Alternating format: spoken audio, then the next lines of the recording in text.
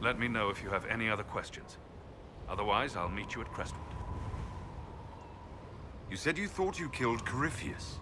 The Grey Wardens had him imprisoned. They used my father's blood in a ritual to seal Corypheus inside.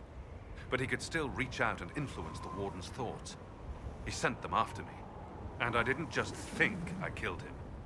When the fight was done, he was dead on the ground. Maybe his tie to the Blight somehow brought him back.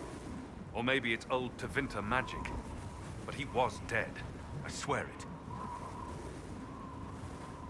Where did you go after the mages rebelled? I heard the Chantry might be sending an exalted march to Kirkwall to put down the rebellion. I hoped that leaving would save lives and force the Divine to divide her forces to come after me. As it turned out, I needn't have bothered. All the circles started rising up, and the exalted march never came. I'd like to know more about Anders. What was he like? I don't know if there ever was just Anders. He was crazy. By the end, there was nothing left in him except this insane need to start a war no one could win.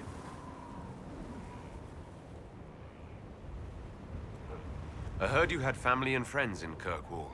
Where are they now? When the Wardens began acting strangely, I had my friend Aveline take my sister out of the Free Marches.